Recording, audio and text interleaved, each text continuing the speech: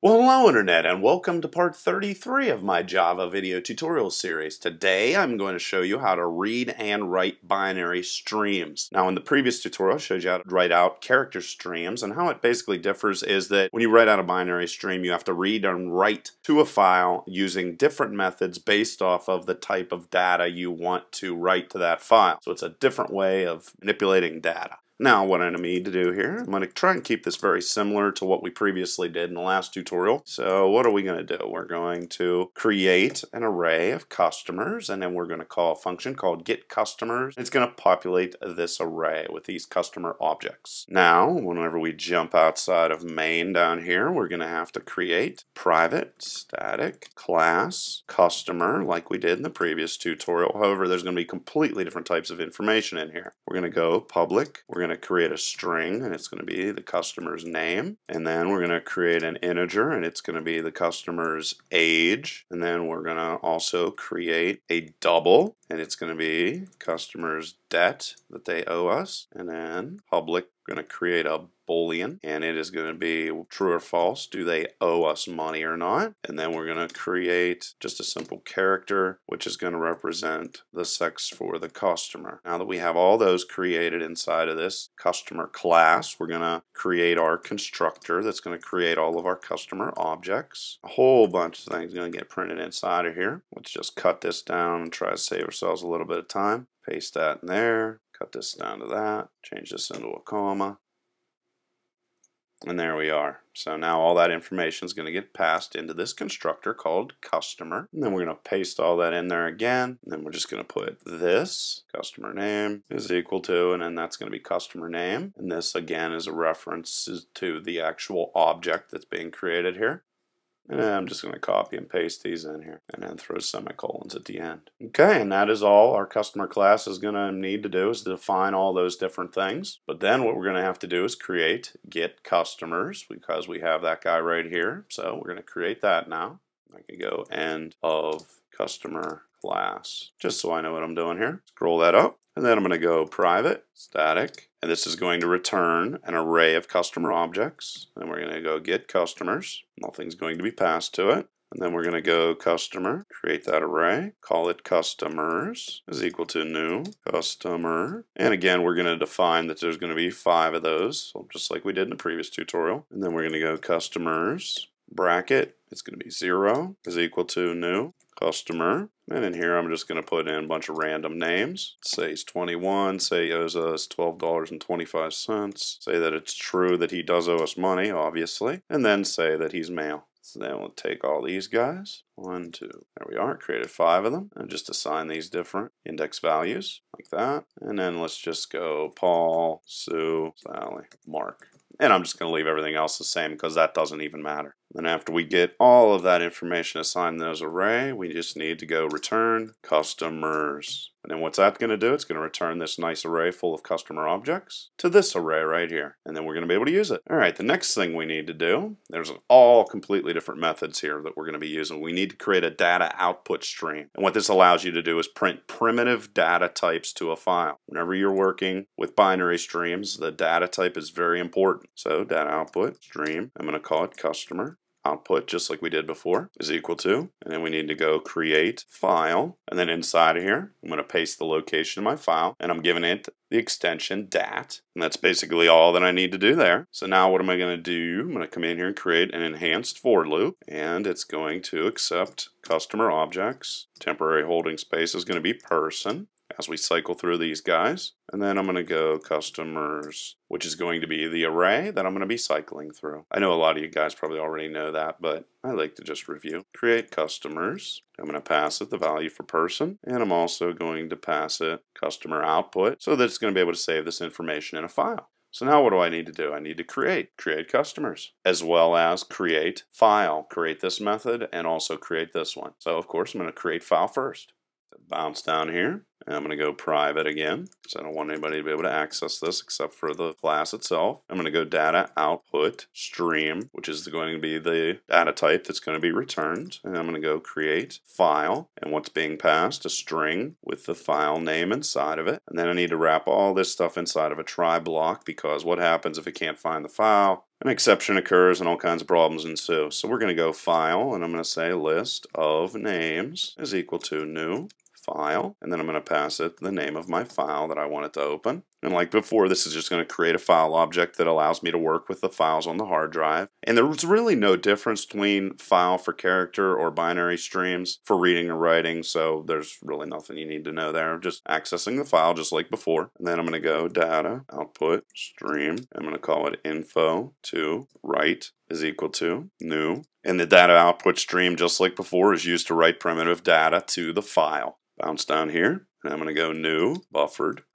output, stream. And what does that do? It just gathers the information into a buffer or a packet so that everything is passed all at one time instead of individually. And then I'm going to go new, file, output, stream, and I'm going to pass it list of names. Bounce down to the end of there, go like that. Now, I skipped over this before, but this works every single time whenever you're working with files of any type. If we just do what we do right here, what this is going to do is overwrite anything that is currently in existence. So for example, if a file already exists, it's going to overwrite it. And that would be exactly the same as if I would go list of names, for example, like that, and put false. That's going to create a new file. However, if I put true inside of there, that is going to append all of this data that I'm going to pass to this file to the end of whatever exists there now. So that's important to know. And just like before, a file output stream is used to write streams of data to the file. So now what are we going to do? We're going to go return info to write. And we're going to be able to pass back the ability to be able to write to this file that we created. It's going to throw E inside of there. And what I'm going to do is just go system out, print line, and I'm just going to type in IO error like that.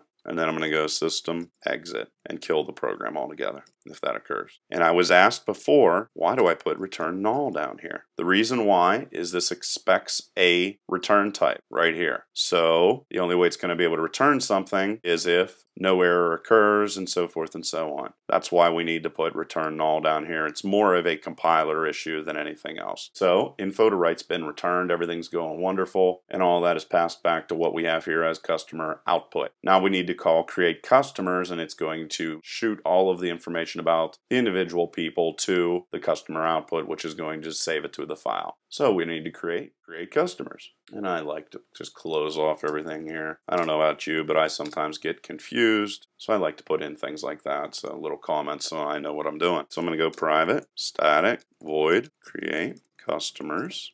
And what has it been passed? It's been passed customer object that I'm going to call customer. And it's also been uh, passed a stream that's going to allow me to output information to the file. So that's good. Everything that I need. The customer I need to put there, as well as the capability to print it to the file. Now again, I'm going to need to use a try block here. It's like before. What's different here, instead of character streams, is I need to write, using very specific methods, data to this file. So if I go customer output and I want to print a string, or I want to send a string to a file, I need to go write UTF and then type in customer, customer name. And this must be done in the exact same order as we put all this information in here. It's very, very, very important because that's how everything's going to work. So you have to do it that way. So what I'm going to do here, I'm going to copy that, scroll back down here again, just so I have this as a guide so I know what I'm going to be working with. And whenever I printed all this out, I noticed that I have customer name in lowercase letters. So let's go correct that right now. Come back up here, type in name. And we're also going to come up here and do the same thing, make this capitalized. Want to keep everything consistent. And if you scroll back down, you're going to see that that error message went away. So we need to shoot all this other additional information out there in exactly the same way. So the next up, we're going to be sending an integer, which is customer age. So this is going to change to write int. Say it's not that hard to remember. And we're going to change this to age. Throw in another one. This is going to be customer debt. And this is going to be different because we're going to be passing a double. So what are you going to put in here? Take a wild guess. It's going to be double. Say it's not that hard to remember. Well, like this. Then what are we going to be passing? We're going to be passing owe money, which is a boolean. And we're going to come down here, go owe money, like this. We're going to be passing in here the last thing is a character. So this is going to be write C-H-A-R. And then this is going to be customer sex. And just so you know, I'll get rid of this right here because I don't need it anymore. But just so you know, you could also do write byte or write float, write long, or write short. So those are the other different methods you would use for other different data types. Then we're going to close off that try block. And that is all that I need to do for this guy. So that's all nice. We created the file. We created the ability to print to that file. And here we are going to be sending all that customer information over to that file. So I'm going to scroll back up here to the top again, back into the main function. And I'm going to actually close this file because we no longer are going to need it. We've already written to it. And I'm going to do that by going customer output close. There it closes the connection. And what do we have here? We're going to have another potential I.O. exception being thrown. So I'm going to throw that inside of there. And then the last thing that we're going to need to do is go and get this file information. Throw this inside of here and scroll back down and we're going to create the method get file info and you'll be able to also retrieve information from data streams.